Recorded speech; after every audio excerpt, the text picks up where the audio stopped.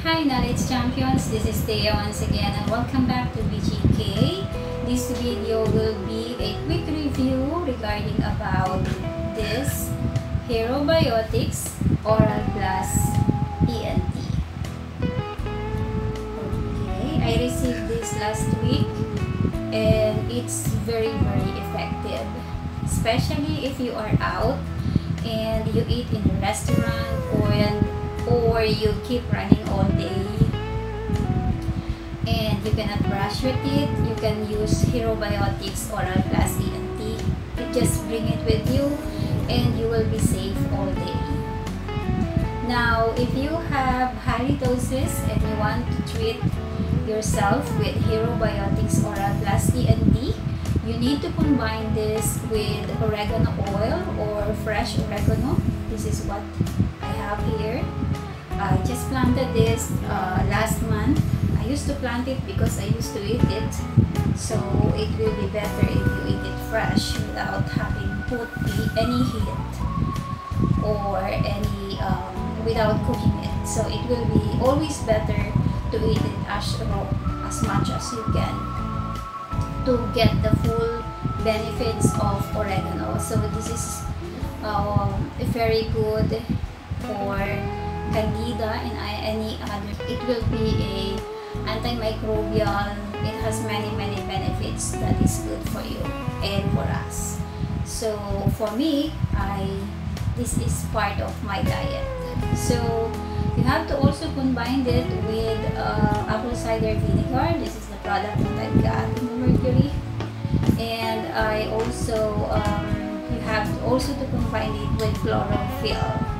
So far I don't have chlorophyll, uh, but I'm using this uh, moringa powder.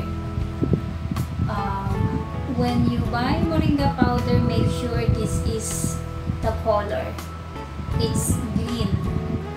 When it's brown or less than this green, it will not be uh, effective because it is processed um, more than it should be.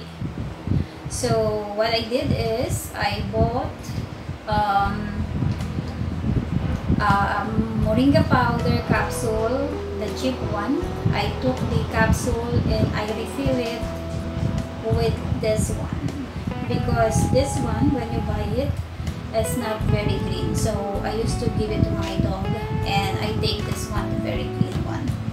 Combine it with uh, virgin coconut oil uh, apple cider vinegar then it will heal your halitosis do not say the products are not working the only problem that it will not work is when you use it wrong um, you, you have to combine them I have six videos on the halitosis playlist.